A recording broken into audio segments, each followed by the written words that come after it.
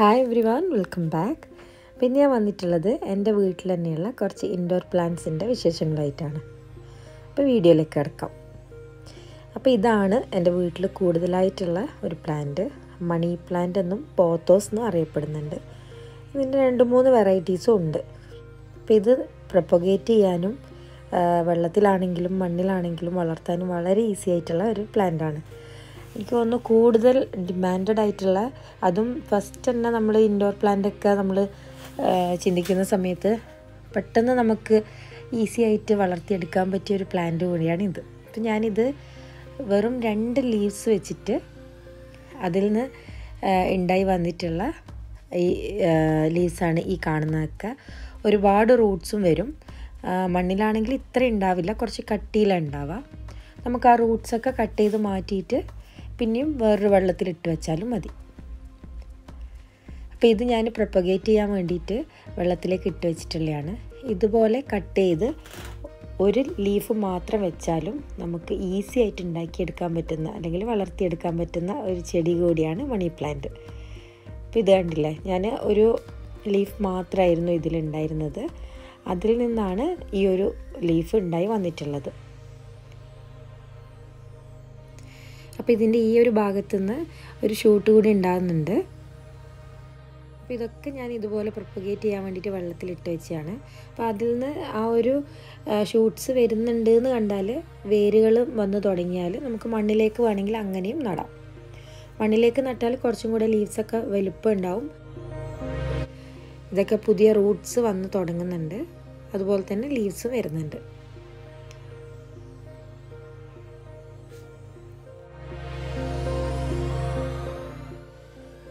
വീട്ടിൽ കൂടുതൽ ഗ്രീനറി അല്ലെങ്കിൽ ഇതുപോലെ ചെടികൾ ഇഷ്ടമുള്ളവർക്ക് ഈസി ആയിട്ട് വളർത്തിയെടുക്കാൻ പറ്റിയ ഒരു ചെടി കൂടിയാണിത്.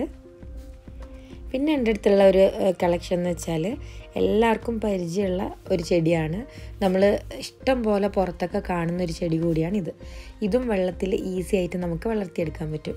പക്ഷെ ഇതിന്റെ ഒരു വളർച്ച എന്ന് വെച്ചാൽ അതിന്റെ വേരുകൾ പെട്ടെന്ന് തന്നെ ഉണ്ടായി വരുന്നുണ്ട് വെള്ളത്തിലിട്ട് വെച്ചാൽ. പക്ഷെ അതിന്റെ പുതിയൊരു ലീഫ് വരാൻ ഒരു മൂന്ന് മാസമെങ്കിലും എടുത്തിട്ടുണ്ട്. എന്നാലും വേറെ കുഴപ്പമൊന്നുമില്ലാണ്ട് നല്ലൊരു ഹെൽത്തി പ്ലാന്റ് ആയിട്ട് തന്നെ ആ വെള്ളത്തിൽ നിൽക്കുന്നുണ്ട് എന്നുള്ളതാണ്. പിന്നെ കാണാനും നല്ല എലഗന്റ് ആയിട്ടുള്ള ഒരു ചെടി കൂടിയാണിത്. സോ ഇതും നമുക്ക് നല്ലൊരു ഇൻഡോർ പ്ലാന്റ് ആയിട്ട് തന്നെ യൂസ് ചെയ്യാം. ഇതിന്റെ പേര് എനിക്ക് ആക്ച്വലി അറിയില്ല. അപ്പോൾ അറിയുന്നവരുണ്ടെങ്കിൽ കമന്റ് ചെയ്യാം. അതുപോലെ ഞാൻ വലിയൊരു ചെടിയിൽ നിന്ന് പീസായിട്ട് അതിന്റെ ഒരു പീസ് മാത്രമാണ് ഞാൻ വെള്ളത്തിൽ ഇട്ട് വെച്ചത്. അതിൽ നിന്നാണ് ഇതുപോലെ വേരും അതുപോലെ ഇലയും ഉണ്ടായി വന്നിട്ടുള്ളത്. സീറോ ബഡ്ജറ്റിൽ നമുക്ക് വീട്ടിൽ ഉണ്ടാക്കിയെടുക്കാൻ പറ്റിയ ഒരു നല്ല അടിപൊളി നല്ല ഭംഗിയുള്ള ഒരു ഇൻഡോർ പ്ലാന്റാണിത്. ഇത് നമുക്കെല്ലാം പരിചയമുള്ള പൈനാപ്പിളിന്റെ ലീഫാണ്. അപ്പോൾ പൈനാപ്പിൾ വാങ്ങുന്ന സമയത്ത് അധികവും നമുക്ക് ഷോപ്സിൽ നിന്ന് കിട്ടാറുണ്ട്. അതുകൊണ്ട് തന്നെയാണ് ഇത് സീറോ ബഡ്ജറ്റ് എന്ന് പറയാൻ കാരണം. ഇത് കിട്ടുന്ന സമയത്ത് ഇതിന്റെ താഴെ ഭാഗത്തായിട്ടുള്ള ആ ലീവ്സൊക്കെ ഒന്ന് അടർത്തി മാറ്റി വെള്ളത്തിലേക്ക് ഇറക്കി വെക്കുക.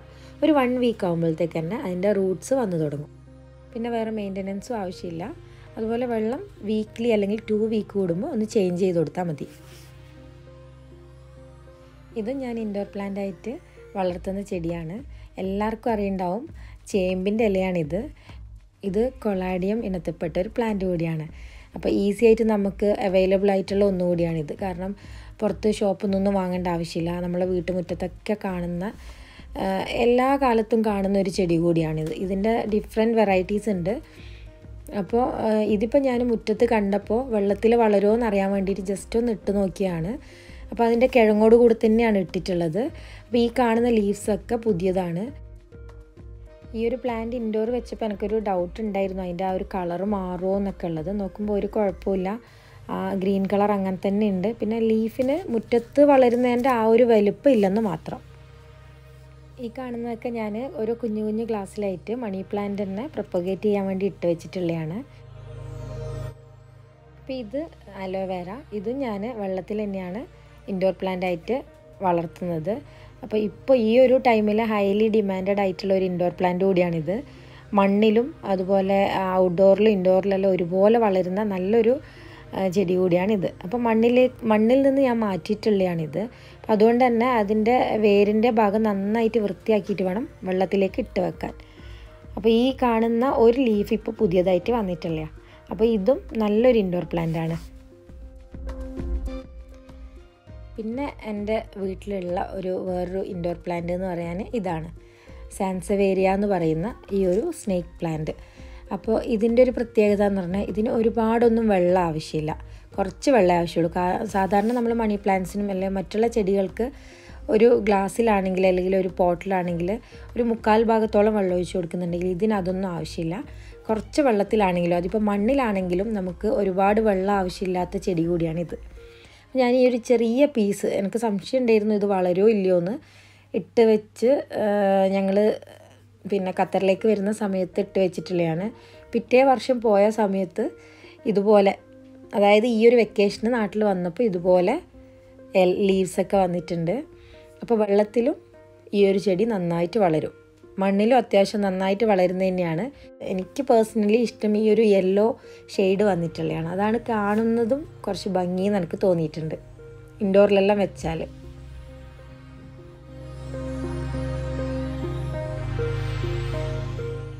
സിങ്കോണിയം ഇനത്തിൽപ്പെട്ട ഒരു പ്ലാന്റാണ് അപ്പോൾ ഇത് ഞാൻ ഇൻഡോർ പ്ലാന്റ് ആയിട്ട് വെച്ചിട്ട് കുറച്ചായിട്ടേ ഉള്ളൂ. ഒരു മൂന്ന് നാല് മാസമായിട്ടേ ഉള്ളൂ. ഇതൊക്കെ പുതിയ ലീവ്സ് വന്നിട്ടുള്ളതാണ്.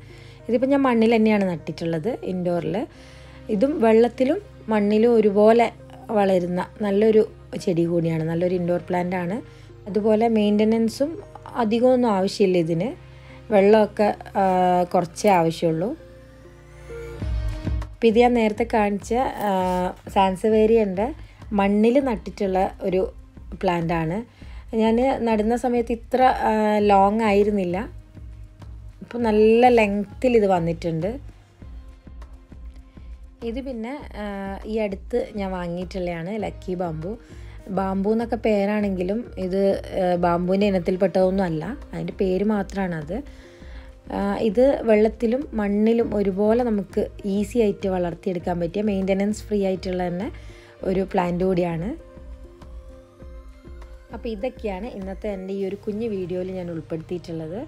സോ നിങ്ങൾക്ക് ഇന്നത്തെ വീഡിയോ ഇഷ്ടമായി എന്ന് വിചാരിക്കുന്നു.